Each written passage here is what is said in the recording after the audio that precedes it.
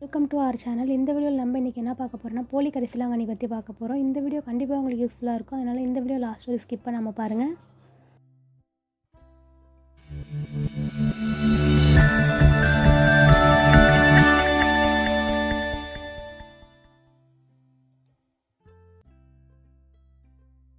இந்த வீடியோவில் நம்ம ஃபுல்லாகவே போலி கரிசலாங்கண்ணி பற்றி தான் பார்க்க போகிறோம் நார்மலாக கரிசலாங்கண்ணினா எல்லாருக்குமே தெரியும். கரிசலாங்கண்ணி ரெண்டு கலரில் இருக்குது ஒன்று ஒயிட் கலரில் ஃப்ளவர் இருக்கும். இன்னொன்று எல்லோ கலர் இருக்கும். ஆனால் இப்போ நீங்கள் பார்த்துட்டு இருக்கிறது போலி கரிசலாங்கண்ணி. இது கரி நார்மலான கரிசலாங்கண்ணி கிடையாது. கரிசலாங்கண்ணி பார்த்தீங்கன்னா அதோடய ஃப்ளவர் வந்து எல்லோ கலரில் இருக்கும். இப்போ நீங்கள் பார்த்துட்டு இருக்கீங்களா இது ஃப்ளவர் எல்லாமே எல்லோ கலரில் தான் இந்த செடியில் இருக்கும். இந்த செடிக்கும் அந்த செடிக்கும் நான் நிறையாவே டிஃப்ரெண்ட் இருக்கும். இந்த செடியை நம்ம எப்படி போலி கரிசலாங்கண்ணி எப்படி நல்ல கரிசலாங்கண்ணின்னு கண்டுபிடிக்கிறதுனா அதோட இலையை வச்சே நம்ம கண்டுபிடிக்கலாம். இதோட இலையை பாருங்கள் கொஞ்சம் பெருசாக இருக்கும். ஆனால் நார்மலான கரிசலாங்கண்ணி இலையை பார்த்தீங்கன்னா கொஞ்சம் ஒல்லியாக இருக்க மாதிரி இருக்கும். இதோட டிஃப்ரெண்ட்டாக நம்ம இது மாதிரி மட்டும்தான் கண்டுபிடிக்க முடியும். நார்மலான கரிசலாங்கண்ணி பார்த்திங்கன்னா வயல் சைடு எல்லா சைட்லையுமே நமக்கு நிறையா பார்க்கலாம். ஆனால் இந்த போலி கரிசலாங்கண்ணி பார்த்திங்கன்னா இந்த செடியை நம்ம எங்கேயாவது எடுத்துகிட்டு வந்து ஒரு இடத்துலேருந்து எடுத்துகிட்டு வந்து நம்ம வீட்டில் வச்சா மட்டும்தான் அந்த செடியை நம்ம பார்க்க முடியும். இந்த செடியை நம்ம மூலிகை செடின்னு நீங்கள் யூஸ் பண்ணியாதீங்க போலி கரிசலாங்கண்ணிக்கு பார்த்திங்கன்னா ஒரு மூலிகை செடியே கிடையாது. இந்த செடியை வேணால் ஒரு அழகு செடியாக நம்ம வீட்டில் வளர்த்துட்டு வரலாம். மற்றபடி இந்த செடியிலேருந்து நம்ம எந்த யூஸுமே கிடையாது. நிறையா பேர் வீட்டில் பார்த்தீங்கன்னா இதை தான் உண்மையான கரிசலாங்கண்ணின்னு நினச்சி வளர்த்துக்கிட்டு இருக்கீங்க. ஆனால் இது உண்மையான கரிசலாங்கண்ணி கிடையாது. இது போலி கரிசலாங்கண்ணின்னு தான் சொல்லுவாங்க. இந்த செடினால நமக்கு எந்த யூஸுமே கிடையாது. இந்த செடியை நீங்கள் வளர்க்கணும்னு நினச்சா ஒரு ஃப்ளவரிங் பிளான்ட்லாம் நீங்கள் வளர்க்கணும்னு நினச்சா கண்டிப்பாக இந்த செடியை வளர்க்கலாம்.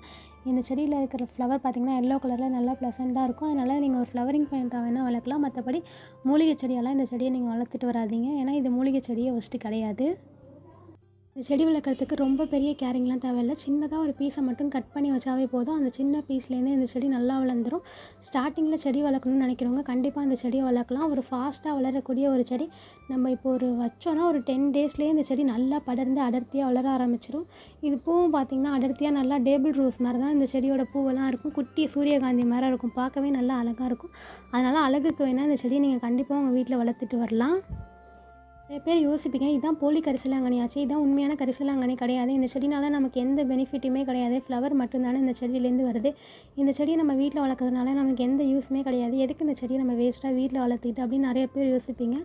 இந்த செடியை வளர்க்குறதுனால ஒரு இது ஒரு மூலிகை செடி கிடையாது தான் ஆனால் இந்த செடியை வளர்க்குறதுனால நமக்கு ஒரு பெனிஃபிட் இருக்குது இந்த செடி பார்த்திங்கன்னா நல்ல ஒரு படர்ந்து வளரக்கூடிய செடின்னு சொல்லியிருப்பேன். இந்த செடியோட வேர்லாம் பார்த்திங்கன்னா மண்ணை நல்லா இழுத்து வச்சுக்கும். மண் அரிப்பை தடுக்கும்னு சொல்லுவாங்க. இந்த செடி வளர்க்குறதுனால நம்ம வீட்டு மண் அரிப்பெல்லாம் இந்த செடி தடுக்கும்னு சொல்லுவாங்க. அந்த ஒரு ரீசனுக்காக கண்டிப்பாக இந்த செடியை நம்ம வளர்க்கலாம். செடி பார்த்திங்கன்னா நமக்கு எப்போ நல்லா யூஸ் ஆகுனா மழை டயத்துலலாம் பார்த்திங்கன்னா நம்ம வீட்டு சைடில் இருக்க மண்ணெல்லாம் ஒரு மாதிரி அரிச்சிட்டு போகிற மாதிரி இருக்கும். அந்த மாதிரி டயத்துலலாம் இந்த செடி நமக்கு நல்ல யூஸ்ஃபுல்லாக இருக்கும். அதனால் நம்ம வீட்டில் இந்த செடியை ஒரு சின்ன ஓரம் ஏதாவது சைட்லலாம் இந்த செடியை வச்சோன்னா ரொம்ப நல்லா படர்ந்து வளர்ந்து அந்த மண்ணெல்லாம் நல்லா இறுக்கி பிடிச்சிக்கும். இப்போ நான் கொஞ்சம் செடியை மட்டும் அதுலேருந்து எடுக்கிறேன் பாருங்கள் எவ்வளோ வேர் இருக்குதுன்னு பாருங்கள் இந்த செடியில். இந்த பீஸை தான் இப்போ நான் தனித்தனியாக கட் பண்ணி வச்சு வளர்க்க போகிறேன் இப்போ க கட் பண்ணிக்கிறேன் பாருங்கள் தனித்தனியாக எவ்வளோ வேர் இருக்குது பாருங்கள் ஒரு சைட்லேயே இந்த செடியில். நம்ம எங்கே வச்சு வளர்க்குறது நல்லதுன்னு பார்த்தீங்கன்னா நம்ம நார்மலான மண்தரையில் வச்சு இந்த செடி வளர்க்குறது தான் நல்லது. இந்த செடியை நம்ம பாக்ஸில் வச்சு வளர்க்குறதுனால நமக்கு அவ்வளோ பெரிய பெனிஃபிட்லாம் கிடைக்க போகிறதில்ல வேணால் ஒரு ஃப்ளவரிங் பிளான்ட்டாக வளர்க்கணும்னு நினைக்கிறவங்க வேணால் இந்த செடியை வந்து பாக்ஸில் வச்சு வளர்க்கலாம். மற்றபடி நம்மளுக்கு நல்ல பெனிஃபிட் கிடைக்கும் நம்ம மண்ணெல்லாம் நல்லா ஸ்ட்ராங்காக இருக்கணும்னு நினச்சிங்கன்னா நீங்கள் நார்மலான மண் தரையில் தான் வச்சு வளர்க்கணும்.